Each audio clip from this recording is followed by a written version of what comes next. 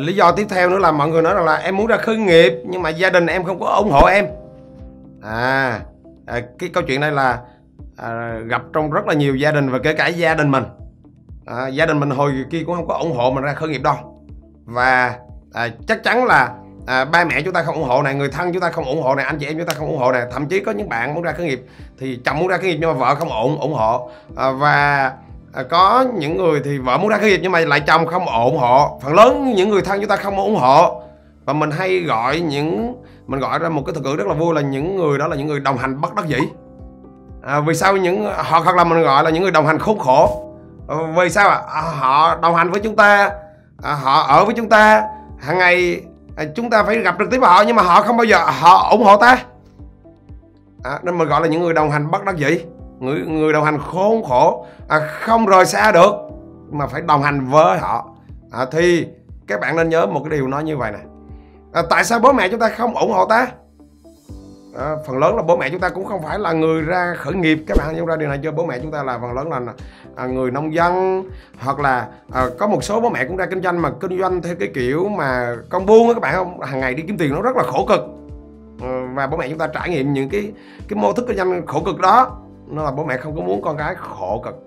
À, đó đó đó là lý do thứ nhất. Lý do thứ hai á là ở ngoài các bạn do truyền thông nè đặc biệt là trước đây do truyền thông nè báo đài và những câu chuyện này thì truyền thông hoặc là những cái câu chuyện nào nó lan tỏa nhiều thường thường là những người nào mà làm ăn họ thất bại á. À, thế là báo chí nó kể đầy hết đó à, hoặc là à, ở trong làng xóm chúng ta có ai mà làm ăn thất bại trời ơi nó cái câu chuyện nó kể các bạn không? Nó kể rồi bố mẹ chúng ta nghe rồi suốt ngày mọi người kể về cái câu chuyện thất bại. Còn cái câu chuyện mà ai thành công đâu đâu có nói mà cái ông thành công ảo đâu có có kể đâu. À, hoặc là những người mà họ ra khởi nghiệp họ thất bại á. À, các bạn vô ra điều này thì họ họ thất bại xong họ đâu có có im đâu. Họ đi hù à, các bạn thấy à, họ thất bại rồi họ không biết cách họ khởi nghiệp thất bại rồi cái tự nhiên họ gặp bạn bạn muốn ra khởi nghiệp cái họ hù họ kêu là à, mày đừng có ra khởi nghiệp nha mày ra khởi nghiệp coi chừng mất hết tiền nha giống như tao nha. Các bạn vô ra tức là liên tục có những cái ngôn từ đó nó làm cho chúng ta gì ạ? Nó làm cho chúng ta sợ đi và chúng ta tưởng cái thế giới khởi nghiệp là một cái thế giới gì nó nó kinh khủng lắm. À, tự nhiên cái mình có một cái kinh nghiệm nó nhờ vậy à, khi bố mẹ đồ cản ta thì thứ nhất là chúng ta phải có cái khả năng thuyết phục. Ta có ba cách để chúng ta thuyết phục. Cách thứ nhất là chúng ta phải dùng tình cảm. À, nói mỗi ngày một chút thôi mỗi ngày một chút thôi mỗi ngày một chút thôi mỗi ngày một chút thôi thì ba mẹ lần lần sẽ hiểu hơn. Mình hiểu rõ mình nói là lý do vì sao mình ra khởi nghiệp. Mình phải nói rõ với bố mẹ rằng là mình đam mê à, các các bạn tức tức là mình phải nói hết mình phải đủ cái khả năng thuyết phục đó.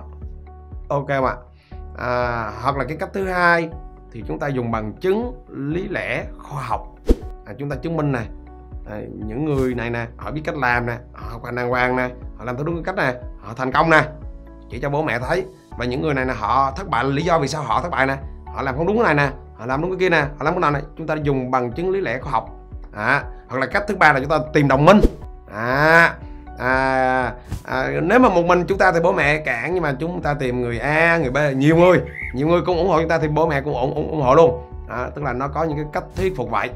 À, hoặc là à, có những người thì bạn có thuyết phục gì thì họ cũng không có tin các bạn đâu. À, mình phát hiện ra có những người rất là thú vị.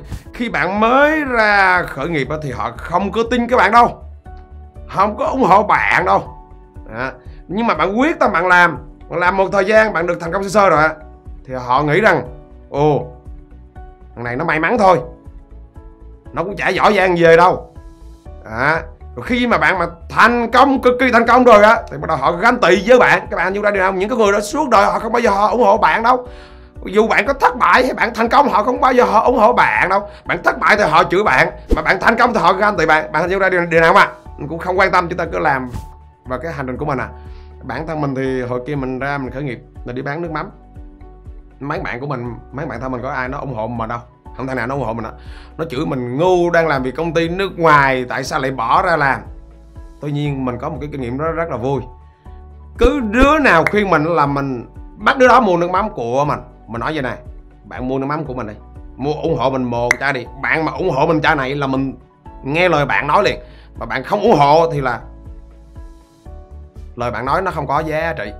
À, và thậm chí mình còn à, tấn công lại bạn luôn. Mình nói là chai nước mắm mà bạn không mua được mà bạn có đòi khuyên mình. Chai nước mắm có mấy ngàn mà bạn mua không được mà bạn đòi khuyên khuyên khuyên mình. Mình muốn nghe mình muốn thấy cái hành động của của của bạn à. Cái cái cái các bạn nhận ra điều này mà. Chúng ta không lao vào đó.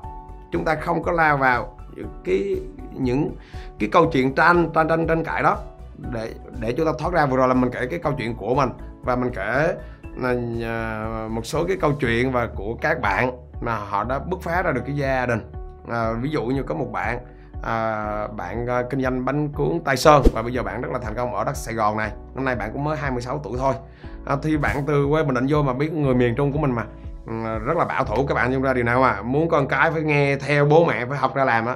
Thì à, khi mà bạn học à, ra trường thì bạn không có đi làm bạn ra bạn mở ở cửa hàng bánh cuốn tây tây sơn à, và không biết cách làm nó tiêu tốn bạn hết 70 triệu và bạn hết sạch tiền luôn.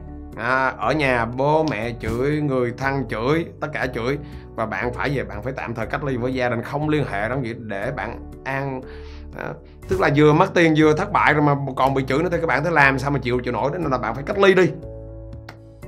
Để gì ạ? À? để bạn bình an lại và bắt đầu bạn mới đi làm công. À, sau đó bạn đi làm công thì bạn mới ờ, bạn mới thấy những cái người bạn của mình có một số người họ kinh doanh thành công thì bạn mới đúc kết kinh nghiệm lại và bắt đầu bạn đi học. À, bạn bạn bạn bạn đi học khởi nghiệp bạn đi học kinh doanh rất là bài bản mà làm theo đúng từng bước. Và bây giờ là hai năm rồi các bạn. À, rất là bất ngờ cho tới giờ à, làm bánh cuốn Tây Sơn làm đúng cái món bánh cuốn Tây Sơn thôi. À, cái cái bánh cuốn đó bạn biết đó rồi chấm, ăn đó. Các bạn ơi, nhưng mà làm đúng cái bánh cuốn đó đó thôi. Mà cho tới hiện tại là bạn có được hai mươi mấy nhân viên rồi. Và giao hàng ở Sài Gòn này, các cái công ty bây giờ không còn cần có cửa hàng luôn, các các các bạn bạn chỉ có một căn nhà và làm thôi. Và các bạn biết là ờ, mới vừa năm vừa rồi chia sẻ với mình là à, đã mua được cái căn hộ trả góp rồi. Cái các bạn năm nay mới có 26 tuổi mới ra khởi nghiệp có 2 năm thôi mà trước đó đã thất bại một lần rồi. À, và bạn bạn đã biết cách bạn vượt qua được cái áp lực gia đình. Bạn biết dĩ nhiên bây giờ gia đình của bạn bắt đầu ủng hộ bạn rồi.